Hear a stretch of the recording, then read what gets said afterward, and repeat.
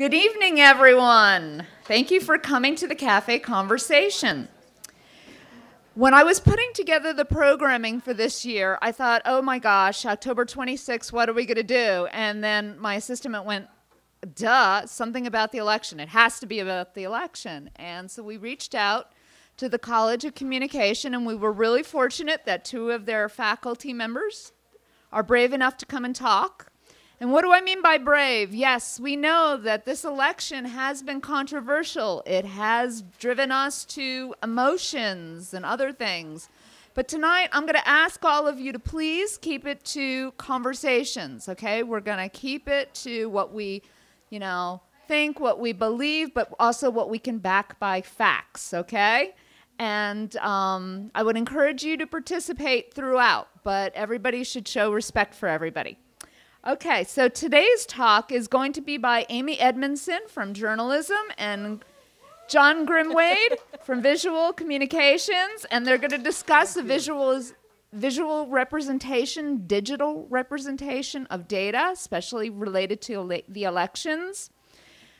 Next week, we have Popped Secret. It is our first movie, Popcorn and a Movie Cafe. And it's especially relevant that we're having popcorn because the movie is about the origin of corn, which it turns out is from this wild grass called te- uh, teosinte. And what they used to do is burn it and make popcorn 9,000 years ago. So we'll learn about that. And then on November 9th, we have our very first graduate student who is going to be doing one of these cafes. She did the science cafes at the North Carolina State Museum, so she has a lot of experience, and she works with Dr. Larry Witmer, and she does dinosaurs. Her talk is Dinosaurs, Dodos, and Ducks A Bird's Eye View of Brain Evolution. So I hope that you will join us in the coming weeks. So, in other words, we have cafes today, next week, and the following week. And at this point, I'm going to turn it over to our speakers, please. Great. Thank you. Thank you. So, John and I agreed that I would go first because what generally happens is you gather the data, then you visualize it. So, I we thought we'd go in chronological order, and I'm a little bit of a rebel here, sorry. And I have decided that I'm going to do a bit of content that's not the election for a couple of reasons uh, because my class, the one I'm kind of selling up here um, to some prospective students out there, as well as a few of the students who have taken this class already, yay, down here in the front, um, wanted to show you what my students do.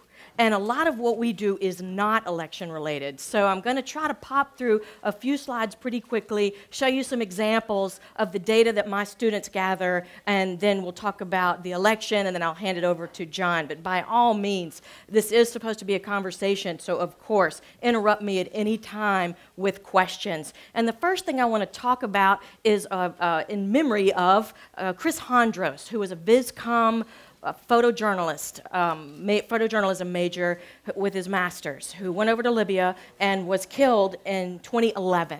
And so when I start my data journalism class, we talk about how, yeah, how are we going to cover this? We're going to profile Chris. We're going to talk to his professors, his family members, his friends. But what else are we going to do to make this story rise above the rest of the stories, to tell the story about Chris, but put the story of Chris in context? So after we profile him, we go and look for data and found some with CPJ.org, Committee to Protect Journalists. And they have been tracking journalists who've been killed in the line of duty since 1992. 1,200 have been killed in the line. And so we download this data from the web, easily downloadable. We are awash in data now. And so there's no reason why most of our stories can't be data driven stories. And so we try to get our students into a data state of mind with every story, even if it's an incredibly sad profile of an Ohio University VisCom student who was killed in Libya. So we find the data,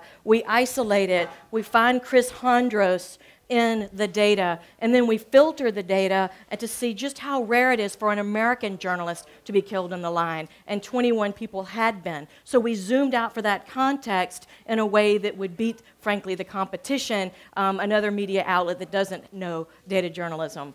And so this guy, a former editor of Slate, said something that really bothered me, so I wanted to take him to task. He said that data journalism, computer assisted reporting, is literally this new kind of journalism that didn't exist before, I don't know, now. And so I like to say, wrong. And because I am a historian, I'm just going to have you bear with me for a minute to talk about the history of data journalism and data visualization.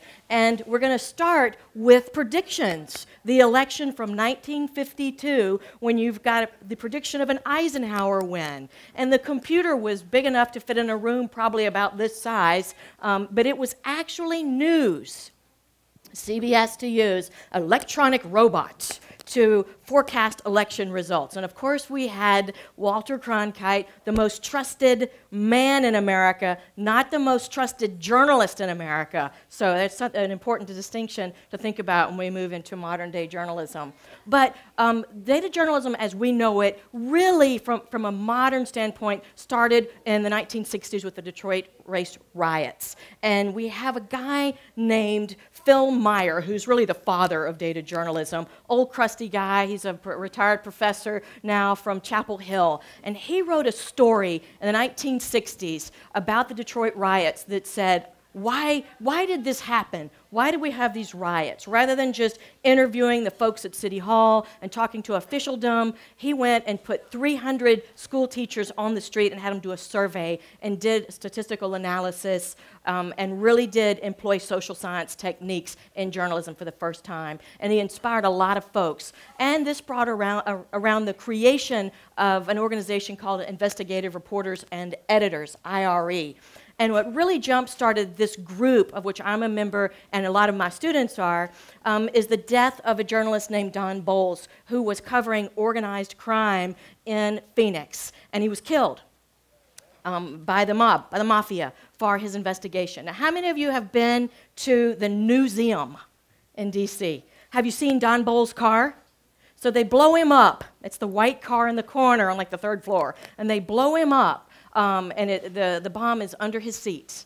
And so, as a result, this fledgling group called IRE, Investigative Reporters and Editors, descend upon Phoenix and finish that investigation far Don. And it's a famous project called the Arizona Project, where reporters from the New York Times, Dallas, Los Angeles, all around the country come in and finish Don's work. And so that really solidifies the organization that, that really leads internationally in data journalism. It's IRE, and it's through NICAR, the National Institute of Computer Assisted Reporting. And that's how we do our training here at Ohio. And so what you have are journalists, working journalists, along with students, and we spend our spring breaks and our summers going to uh, additional training because the technology is constantly changing, and we want to keep up with it. And so we talk about how our, our students, um, can journalism students get jobs in this day and age? And in, in an era of layoffs. And so there were so many job boards, I just had to put them up. These are wanted,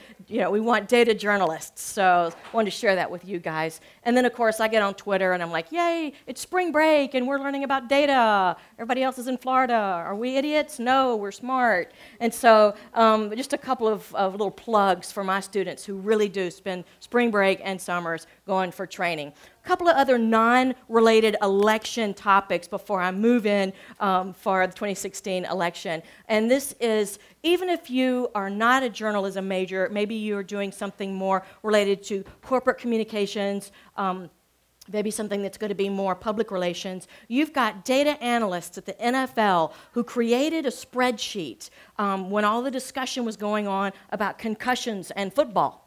And so they released this spreadsheet, and it turns out the data team at the New York Times, which is really good, as you might imagine, um, went through this spreadsheet where every row was a concussion example. And they found tons and tons of concussions that the NFL didn't list in their spreadsheet. And that tells us then that spreadsheets can be crap. And so what we do is we spend some time in our classes going, hey, don't dazzle me with a spreadsheet. It may not be any good. And so that's going to have some um, applicability, I would argue, when we talk about the election.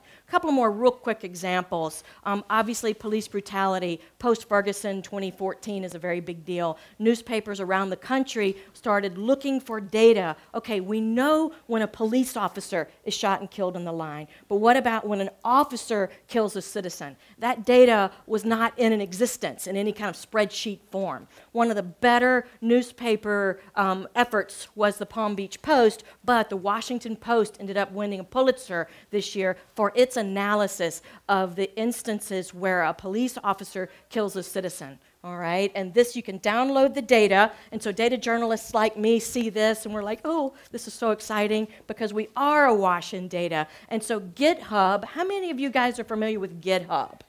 All right, so this is a place, typically kind of a nerdy place where people get together and share code. And so the Washington Post uses its GitHub site or this particular reporter and says, here we go, it's a CSV file, comma separated value, which means I can download it and look at the data. And so we have here a compilation of every fatal shooting in the United States um, that I think is really important work.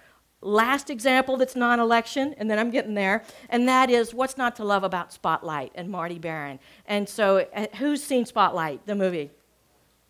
Okay, so if you haven't seen it, run, don't walk to Netflix, all right? And so we had Marty Baron here. Here's Marty Baron and then Liev, Liev Schreiber um, who played Marty, um, who engineered and, and, and edited that story for the Boston Globe. And so, as you know, um, that story won a Pulitzer um, the early 2000s, but got a lot of attention when the film won an Oscar. And so I, e- I uh, emailed the data team um, last semester when I was trying to show how easy um, spreadsheet analysis can be, and within an hour, the Globe guys, such big names in our field, said, "Here, here's the data. Sure, show it to your students. Do whatever you want to with it." With it, and it was really exciting and kind of shows how um, giving the data journalism community is. So another fun data set all of the 3,900 OU employees' salaries, sorted highest to lowest. Our highest paid person, though you can't see it, is who? Basketball coach, followed by football coach. It's a conversation about what we value um, in terms of our. Uh, um, okay, anyway. So now, you can tell I'm an academic, right? Yeah. so here we are. Um, one of my favorite, Gordon. Mm-hmm.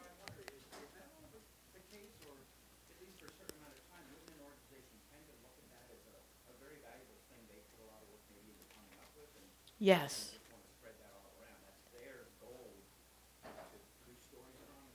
Yes, absolutely. And so, what would happen? Um, repeat the question. Why in the world would the Washington Post spend all that, that time compiling, for example, the 1,200 um, instances of um, uh, police uh, shootings and then share it. They put it in the paper first. They put it on their website first, and then they say, sure, here you go. So, yeah, there is a little bit of, I think, proprietary um, activity there. But then there'll be instances where you might just want to carve out the data from your part of the world and do something local or regional. Um, so, great question. In this instance, what we hear a lot every election cycle is it's not fair that Air Force One and taxpayers are paying for the president to campaign for the Democratic or the Republican um, nominee. And so every four years, you see this story. It's, it's interesting because if a Republican president is in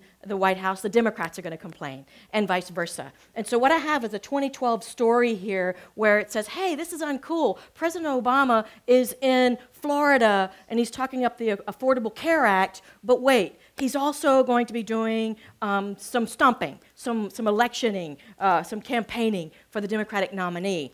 And so Mark Knoller, a reporter for CBS, is in that packed journalism that is the White House correspondence, right? And so he stands out among all of the other correspondents because he's a data journalist. And so what he did was every time you've got wheels up, he puts it in a spreadsheet. Wherever Air Force One goes, there's an item of data, okay?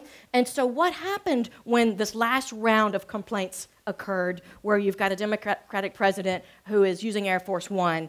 Um, the, the story then that, we, that comes out is that President Obama did it, President Bush did it, President Clinton did it, the other President Bush did it, and he's been keeping records for like 25 years. And so all the other media outlets then are quoting Mark Knoller's story. New York Times is saying, according to CBS News. So it's like, whoa, big fail on the New York Times part, because really the only person who had that story journalistically, context wise, more than just a, oh, let's complain and let's, re- let's rebut, the true context came with Mark Knoller. So I'm a big fan. Now, Ohio elections. Now, this is um, something that my students and I use quite a bit. And, and I wanted to share something with you that my students really enjoyed, and that is with the campaign finance reports, pretty solid. We always use this data. Um, you can just download it, anybody can, from the Ohio Secretary of State's office. Um, and so interestingly, um, simple search, click, and that's what journalists do. Back in the day, I was a reporter for about a dozen years, um, if you can't tell from my accent, mostly in the South. And so we would have to schlep over to the Election Commission, grab the hard copies of the election campaign finance reports, and go and enter the data ourselves into spreadsheets. But now you can just download it. Anybody can um, very quickly, and we do. And so what we looked at was the CASIC data um, in Ohio and a really fun um, line, you can't really tell here, but this is the, the campaign, the person who, um, who contributes to the campaign. That's their occupation. And so what we did, and I thought this would be interesting for my students, was we isolated it. Their occupation is student. And so then my students are like, wait, wait a minute. Somebody just donated, and you can't see it here, I'm sorry, um, $11,999 to, to, to campaign. I can't even pay my rent. I'm eating ramen. How in the world are they donating almost $12,000, which would be the state limit at the time, um, the last gubernatorial election? How are they doing that? So we isolate the data and slice it and dice it. And I'm sorry that you can't see this, but what I did was we pulled out all the kids and then we looked for their parents. Okay? And so what you've got is an Ohio law that says you have to be seven years old to contribute to a, a, campaign. Isn't that a fun story? You know, that's one that as a journalist I'm pretty excited about because I hadn't read it before. Um, and so there's no Ohio statute limiting the amount a family can give. And so then there are several of these that you can't really, and this is why we need data visualization, John coming soon, because this is hideous to look at, right? You can't even really tell what's going on here. But we've grouped together families, prominent families, and then they, all their kids donate and their, um, their spouses, and, and find a nice little story there that maybe others wouldn't find. Now, here's the Federal Election Commission data. Also, disclosure data catalog, really awesome thing. Anybody can, can just go click, click, and download this data. And so, in this instance, what we are looking at as, uh, is who donated, how much, what it was spent on. You know, you have the campaign, the campaigns that say, hey, grassroots, grassroots. So you could do a search for anybody who donated under $500 and tally those up, and we can, we can see who the small donors are. So there's a million ways to slice and dice this data. Um, and though we do have um, super PACs and Citizens United um, have sort of blunted the impact of some of the stories, um, it's still really interesting to tell a lot of these stories and to tell them well. Um, and so I'm not going to do a whole lot with this because um, John's about to get up here. But uh, the, the, key, I think, individual in terms of data analysis is Nate Silver in 538. Y'all familiar?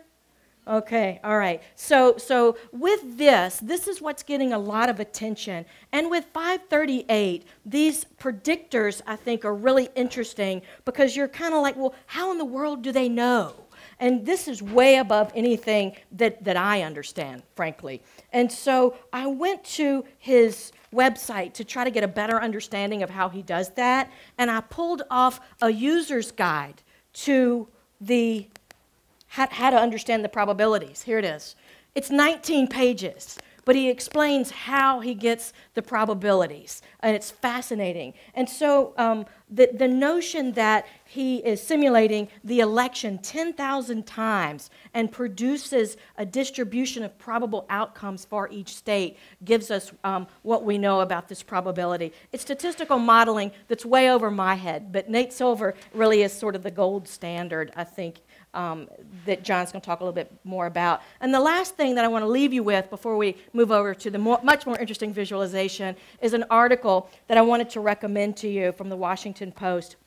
And it's the notion that we really no longer have the media um, and the, the, idea of the media. It's anybody with a cell phone, anybody with um, a Twitter handle who's on Facebook, anybody with any kind of website. And so when you lump the media together, I just want to urge caution um, that when you, um, when you do that, you're talking about anybody with a cell phone um, or not. So when we think about um, reliability in election data, it's really important to look at where that source is. So I'm going to leave it there and let John talk more about that. And we'll have time for some questions, hopefully, at the end.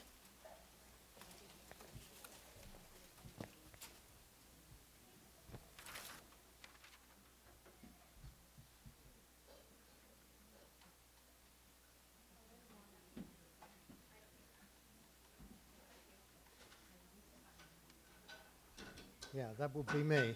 Um, hi. As you can tell uh, from my accent, I grew up in Pomeroy. A lot of people here think that I have some kind of connection to Masterpiece Theatre, to be honest.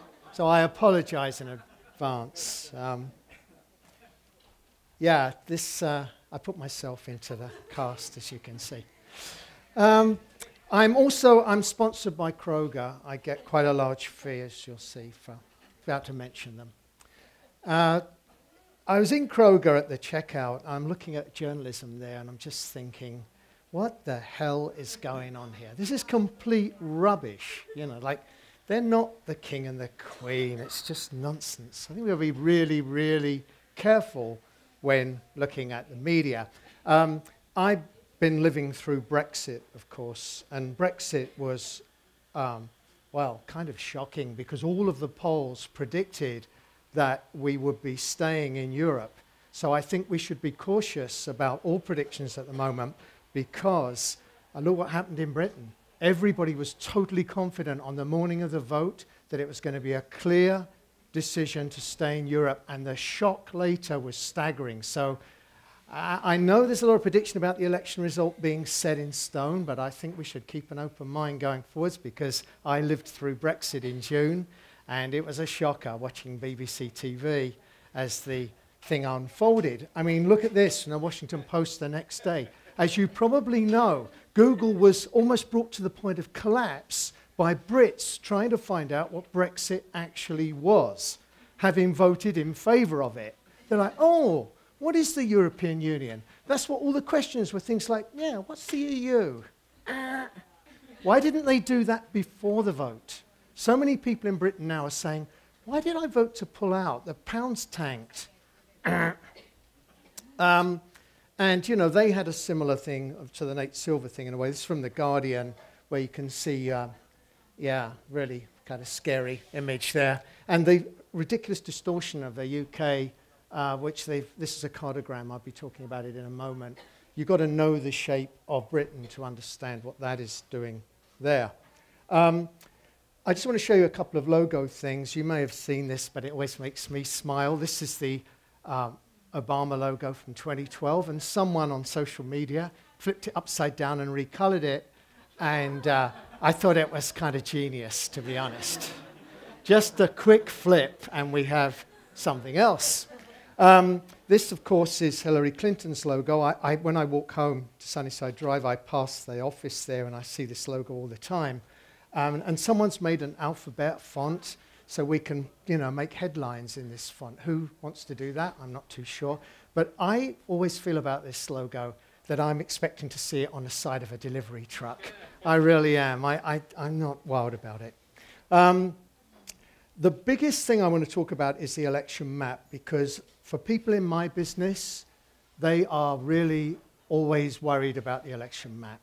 And it goes back a long way. This is actually rather well done from 1880. So data visualization of the election is nothing new. Um, and if you look at the map we're used to seeing, here it is, the geographic map. And on this site, 270 to win, you can see it for every year, which is kind of interesting. You can go all the way back to, right the way back. You'll see I went back here to uh, a very long way. And, you know, this is the traditional election map that we're used to seeing. Um, here, incidentally, is what it would look like if just men were voting on election day. Uh, that would be the election map. And if it was women, it would look like that, which is pretty interesting. I have no further comment on that, except it's interesting. Um, and while we're on the question of that, look at Alaska down here. I don't know if any of you know how big Alaska is, but they're used to being shown like that, and they're kind of pissed about it. And here's why. Here's the size of Alaska. Who knew? It's gigantic. I mean, I think that's a big problem right there. Um, but this is the map that has been used. Look, historically, every election has used this, uses this geographic map. And the problem, of course, is that the, it shows the area, the land area. There might be states with very few electoral college votes, but they happen to cover a huge area. So the result doesn't reflect that geographic distribution. So that map is inherently flawed, although we see it all the time. Obviously, there are small states like Massachusetts with a lot of electoral college votes. There are big states with only a couple.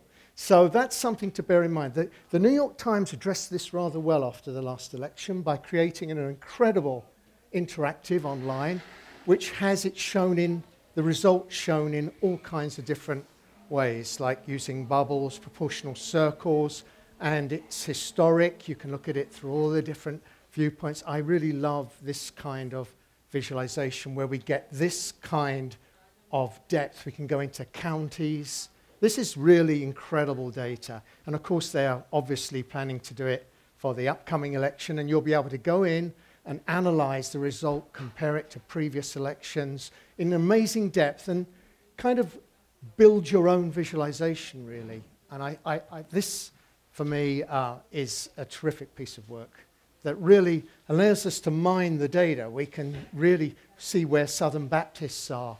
Um, you know, we can look at everything every little metric here. I think it's an incredible thing. With, when you think of the layers of data here, uh, it's really incredible. It's like this amazing pyramid of data. And that's the beauty of data visualization. Yeah.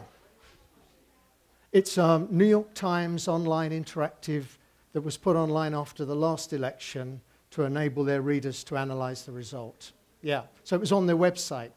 Still is, I think.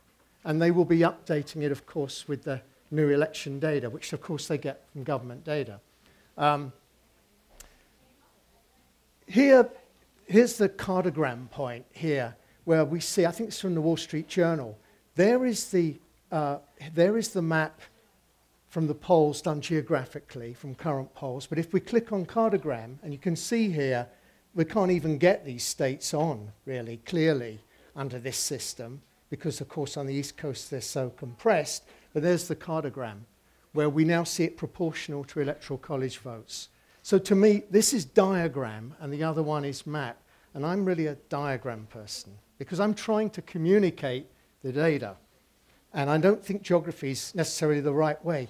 There is the real UK, to get back to Brexit. Look at this nutty distortion that has been done here to reflect how many voters there are in each area. You've really got to know the UK shape. The danger of the cartogram is that if you don't know the shape of the country, it sort of throws you. It can throw you considerably.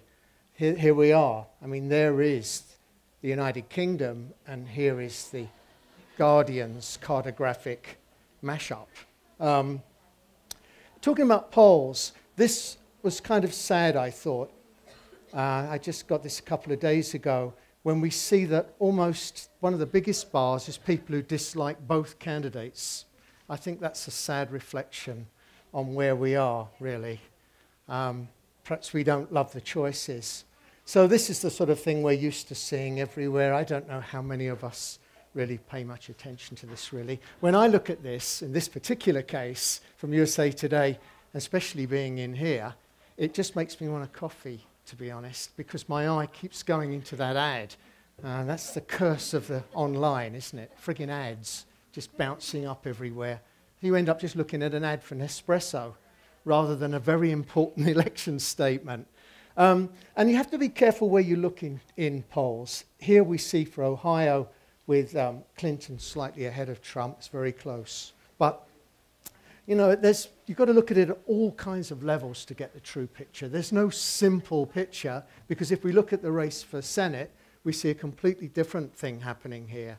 So, I, you know, it's not like, it's not necessarily easy to get one clear result. Um, 538 that Aimee mentioned, the thing about 538 is that it isn't just politics. It covers sports, uh, science, economics, and culture.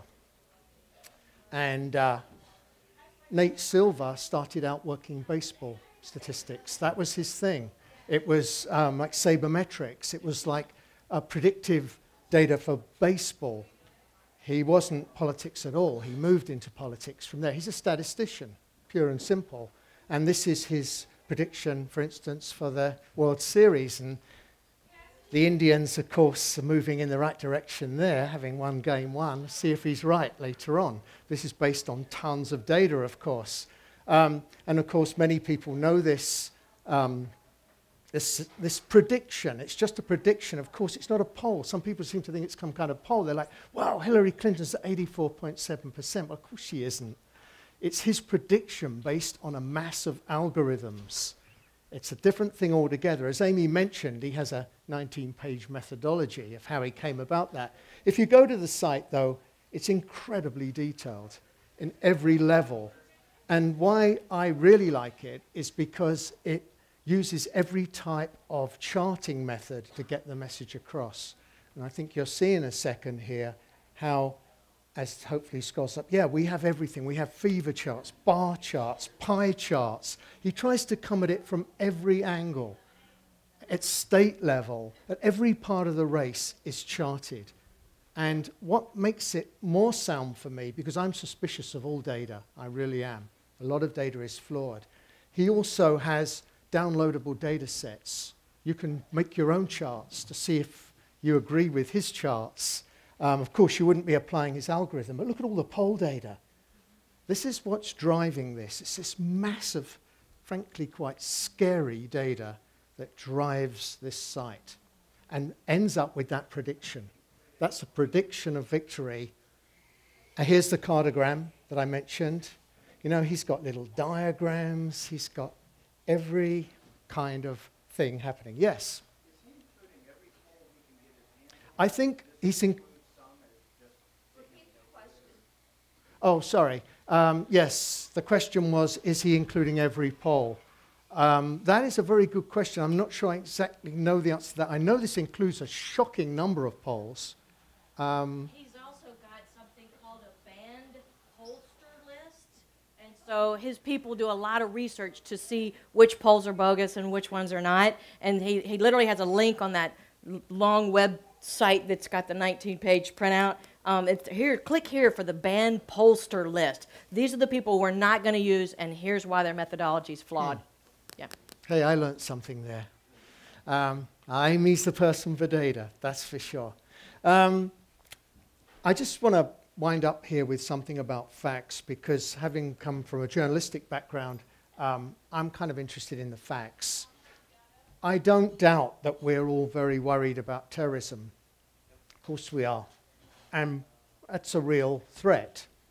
Um, but look at this. You have more chance of your clothes spontaneously melting or igniting than you have of being killed by immigrant linked terrorism um, or being hit by a train. So I think we just got to keep the correct perspective there. Why do I mention this? Because I saw this all over Twitter. Um, this isn't so much a political statement as a statement about accuracy. Um, in fact, it's entirely that. It's just about the facts because it isn't true to say that in a bowl of Skittles, if I told you just three would kill you, would you take a handful? Donald Trump Jr. said this. It's just not true. It's absolutely not true. I've worked on many visualizations about terrorism. I knew the moment I saw this that this is not true. How could it possibly be true? It is not true. In fact, as Vox pointed out, you would need 10.9 billion Skittles to be sticking your hand in to find the three that were going to kill you. You would need, as you can see, a bowl this size of Skittles. And that is a fact. The other one is not. In fact, if we look at causes of death, um, being killed by domestic terrorism would fall between storm and lightning there on the right. But look at the other ones we should be worrying about. Choking. I nearly choked the other day in a restaurant. Um, walking. Let's, well, my point here is let's always stick with the facts. Whoever we support, wherever we're going in the election, let's just try and stick with the facts. People will try and tell us things to worry us and frighten us and sway us, but always question the data and look for the truth. And I think that's really a very important point. Um, if you want to go really nutty, you can download a countdown clock if you're really into this election thing. Or even put it on your website, and it's counting us down by the seconds to the election, to the moment we get the result. There we go. I'm really excited as it ticks down. Not. Um, and this was in the Athens News, uh, like yesterday. And I think this is the point we've now reached, to be honest. I think we're just ready for the campaign to be over. And thank you for listening. I appreciate it.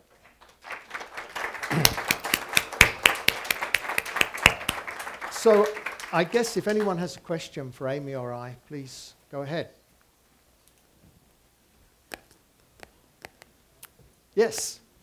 So supposedly with the reduction in budgets for the uh, various TV outlets, there has been less data uh, use and less data checking. Would you, uh, do you agree with that? And is, is that just a trend we have to deal with? I, I think that is true, but it's a surprising trend. Oh, sorry.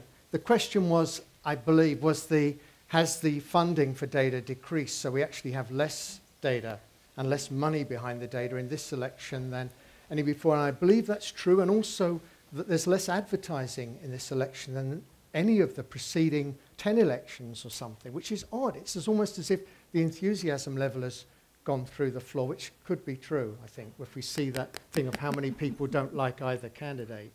So, but um, that is a, a strange trend considering how much big data is growing and the data visualization business is growing. I think it's more reflects, it's a tricky one to answer, but I think it reflects somehow how we're all feeling about this entire process, which has a kind of negative, general negative air about it.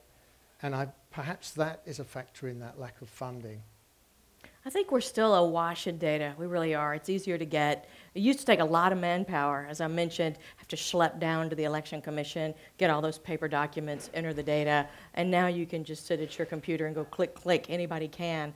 Um, so the, the data are there, and I think the polling is, is really considerable. There's so many polls. Um, one of them that I was just looking at earlier today, um, in terms of looking at uh, which ones do you trust, which ones do you look for, I always go to Politico um, in addition to 538 and some of these others. But Bloomberg um, had a poll that was just done, and so they'll, they'll take all of these different polls, and this one was October 21 through 24. It's at the very bottom of the story, and says reaching 953 likely voters. So that's not very many, right? 953 likely voters in Florida. And then that study um, has a margin of error of plus or minus 3.2% um, based on the statistical modeling. And then it says at the bottom of this Bloomberg story that they believe they oversampled Hispanics by 148 of the 953 likely voters. And so you have these just so many different polls. They're very small. And then what's so interesting about what Nate Silver does is that he takes all of those together and considers them. So I think we, we will remain awash in data, even though you do see fewer working journalists for these legacy media outlets. Yeah. Don't know. Ah, I found it. Sorry.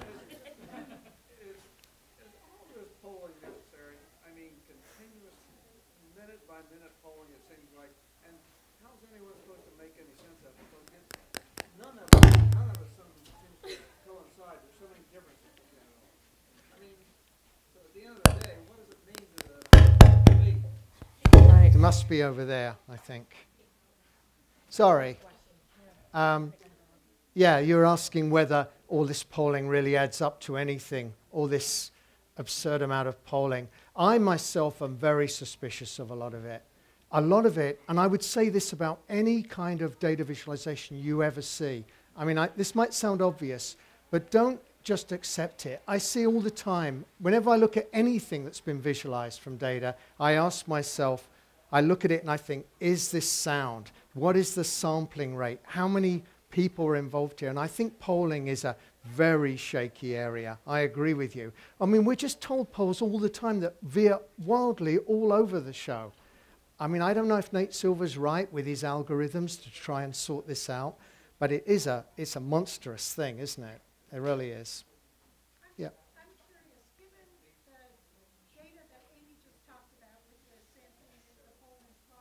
Yeah.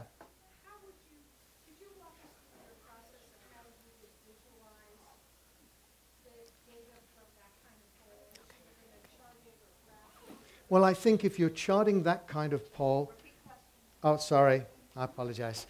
Um, yeah, I think the question was about charting a, a shaky poll. Um,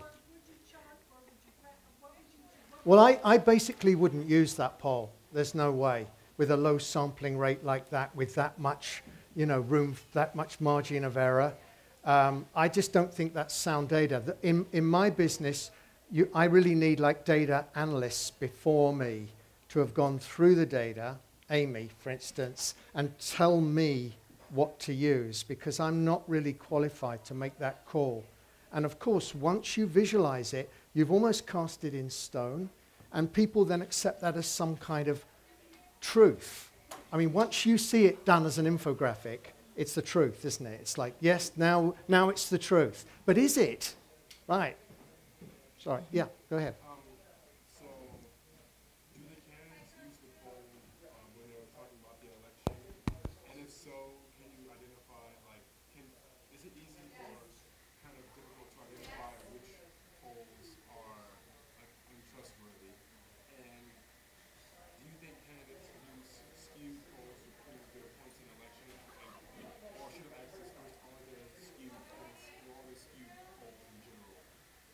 Maybe, Aimee, mm. that.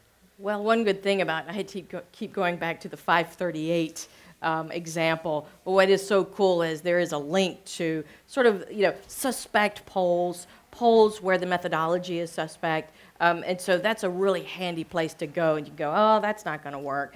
Um, so I think it's easier than ever now to see which polls are legit and which ones are not based on that transparency um, that I think all media outlets uh, are, are using um, because they say this is how we did it. This is our this is exactly how we did it etc this is where it might be weak. Um, but i totally agree with your point that we have way too much polling and way too much horse race um, coverage and i think that's a classic problem. And one of the reasons why um, uh, journalists like mark knoller from cbs news and his work is so exciting because he's the guy going what is nobody else writing about um, what, what can I write that nobody else has read? And so that, that pack journalism mentality um, you know, is alive and well and, and has been for many, many decades. But it's fun when you see somebody do something just a little bit different. All right, it's not me.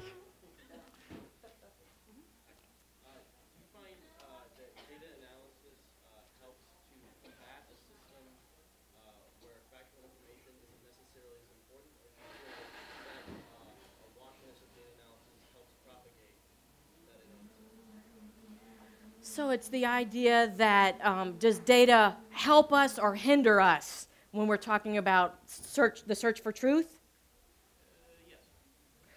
Hmm. Really, I think uh, you use data the way, and this is what I tell my students. Um, it's a source of information, and so when we weigh who we're going to interview for a story, um, we go through a number of things. Um, is this source tr- trustworthy? Um, when it, what is their background? Um, what is their history? What is their motivation for talking to me, the journalist? Um, and so you vet your sources for credibility. And so what I tell my students is you also look at that data as just one more source of information. Okay, where did it come from? What's its history? Who created it? Um, because all of that data is man made. Somebody typed that into um, an Excel spreadsheet or, or some other um, piece of software. And so you have to interrogate and question that data the same way you would um, a human source. Uh, and so that's, I think, one way to, to sort of think through um, should I use this or not? Um, and then, of course, as much training as we can give on sound um, data analysis methods right. and, and making sure that I don't misunderstand data. I would uh, say, okay, find a colleague, whether they're in my newsroom or maybe they're a friend I met through IRE, Investigative Reporters and Editors. I'll send them the spreadsheet and go, okay, this is how I look at this. This is how I analyzed it. Did I miss anything? Did I get this right? Just kind of be my safety net here and make sure I got this, this right. So those are just a few thoughts on, on how to handle um, the incredible amount of information we get, um, and we have to turn around really quickly with it. I think okay. one factor to really watch out for is that there's a lot of crappy data around and a lot of people visualizing it, and there's not as much rigor being applied on handling the data. So, of course, go online and do any kind of search. There's 10 million charts about everything, but they're mostly 99.9% crap because They've just used any old bit of data they picked up from anywhere. And that's something I would really watch out for. I sort of mentioned that a little bit earlier, but I, it really, really worries me. Everyone's a data visualizer now, but they don't have a story. You know, they're just presenting this stuff out without any, any journalistic rigor at all. And that worries me greatly because there are, and then people are repeating it as if it's some kind of fact. They're like, well, did you know that this number of people, like, whoa, where did that come from? See what I mean? That's the danger um, and why the data police, as I call them, are needed. You know, we need to go and look at these things and make sure they're sound. Because when something is done as a piece of graphic design, as you know, it becomes, it has another reality somehow. Now it becomes the truth. But it's just as flawed as that crazy remark someone threw off in passing. Yeah.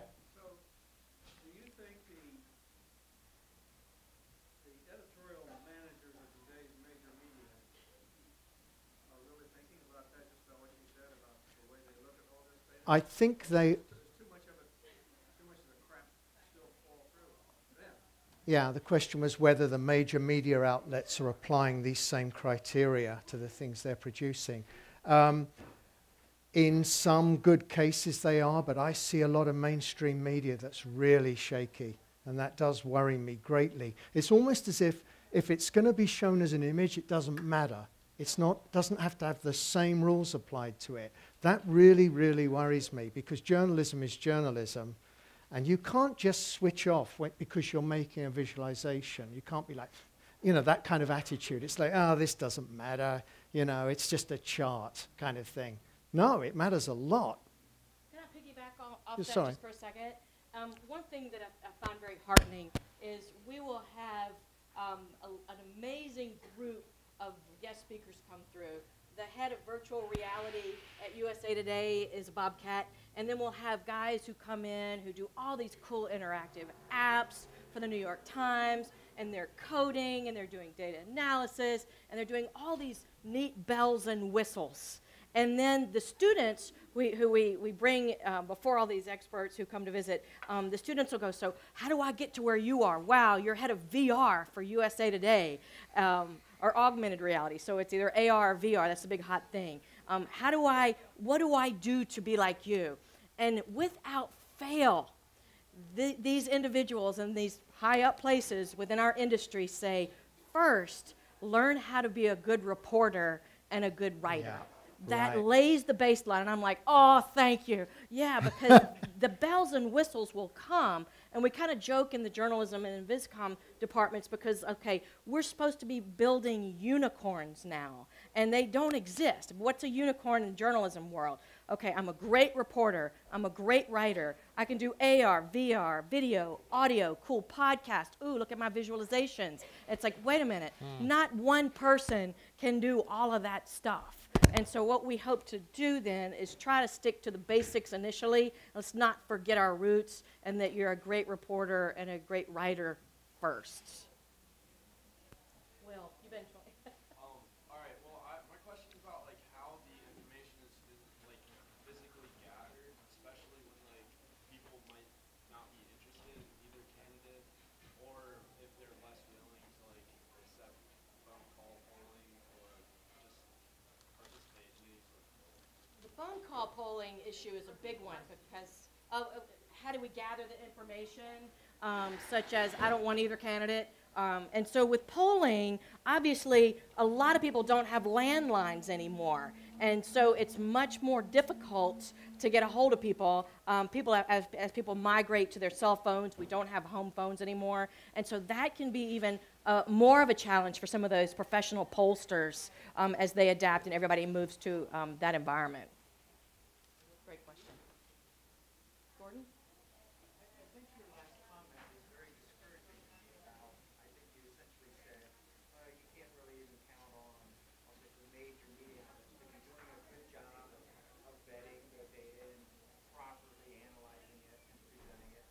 So what the heck does the consumer of this do? We don't have the time or the wherewithal to track all that down on our own and say, well, that's good data or it wasn't. Yeah, you're, I don't know how you can do anything but, but have your outlet or two that you just kind of trust, and you trust right. outlets on polar opposite sides of the political spectrum, depending on who we are. And you say, well, I saw it there, I, I, I take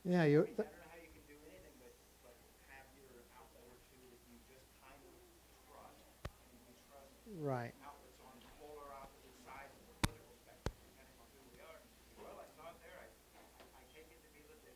Yeah, the question was, yeah, the question was about my discouraging remark about major major media outlets and and the general quality of the data and the quality of the visualization. Well, yeah, I'm sorry to be such a downer on that, but you know, I'm really really worried about it because the data visualization field has shot forwards, and I'm some really nervous that that that, that sort of rigorous approach has not followed it. Probably it has in the case, say, of the New York Times or Washington Post. And, and I think you can sort of feel the credibility in those outlets up, you know, to a certain extent. But across the most of the ma- massive media, I am nervous about that.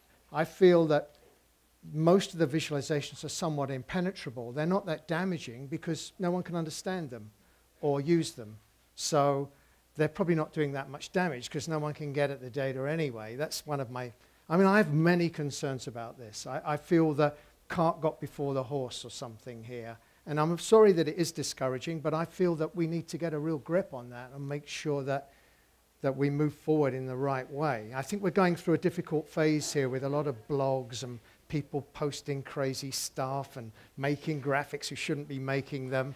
And hopefully it's just a bump on the road to the information heaven. But uh, I, I take your point, though. It is worrying. I mean, I tend to, I tend to find some of the big sources like the New York Times, the Washington Post, Boston Globe credible, mostly, I would say. And I know that they're trying really hard to be.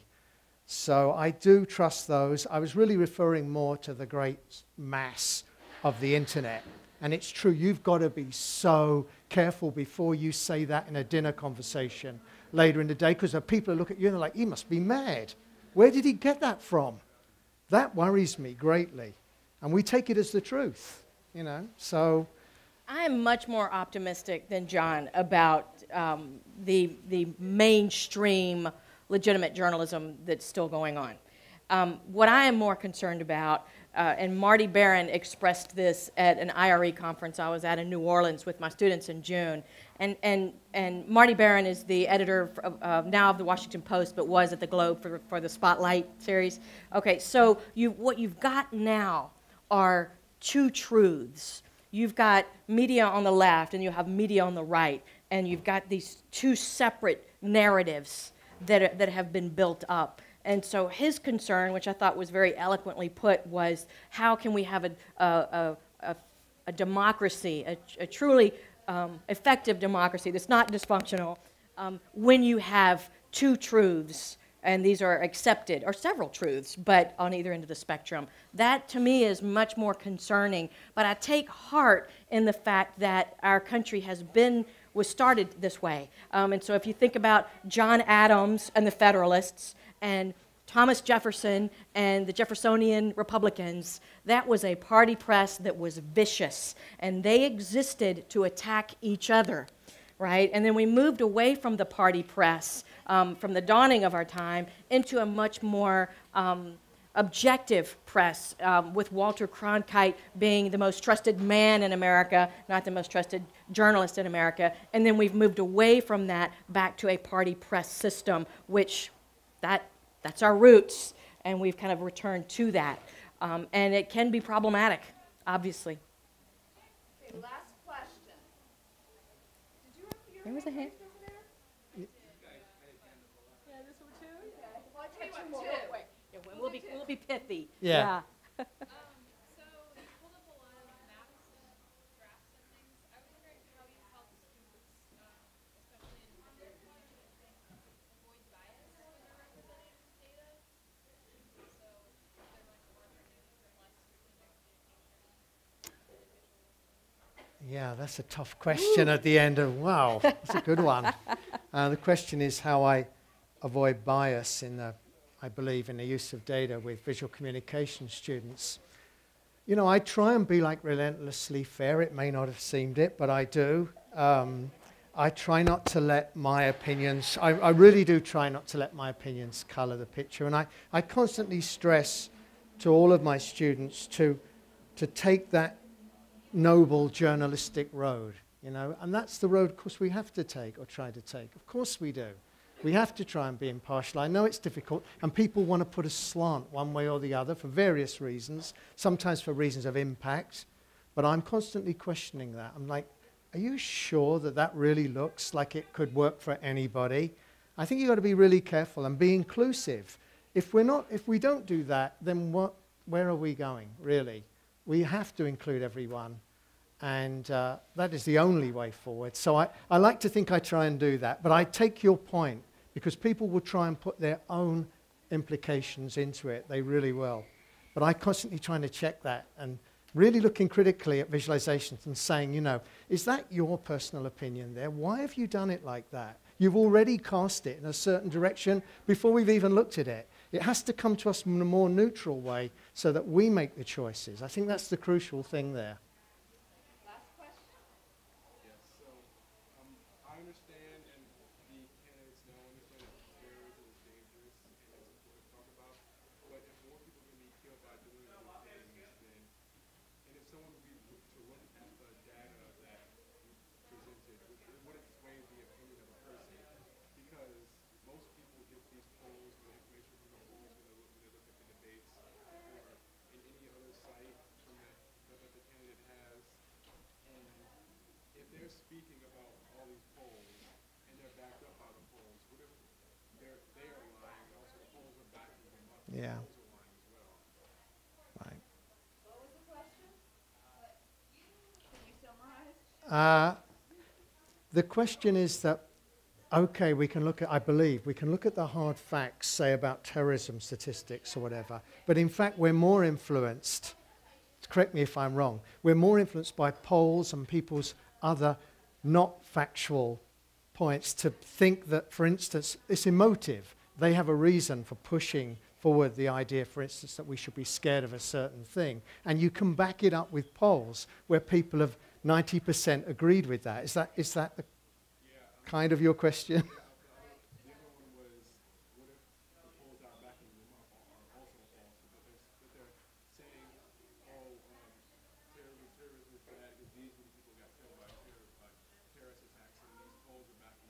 Yeah. The polls are wrong, the data's wrong, the whole point's wrong. Well, all you can do there is try and correct that. That's all we can do is try and correct that thinking. I agree with you, that is a tricky area, and that's why we have a lot of fears about different things. We don't look at the numbers, do we? Like we're, we're all slightly scared of flying, but flying is so safe, it's ridiculous. If we look at the numbers, we're at so much risk when we get in our car and drive, you know, along State Street than we are going to the airport, but we don't believe that because of various opinions, polls, things we've seen about people's fears. It, this is a tricky area. Um, I don't know the easy answer to that, I'm afraid, how we correct that. And of course, politicians will use things to make points and look for data that appears to support that. It's, it's, a, it's a minefield, really. Well, at this point, I just wanted to thank our speakers and encourage you to go up there and ask questions. Thank you very much.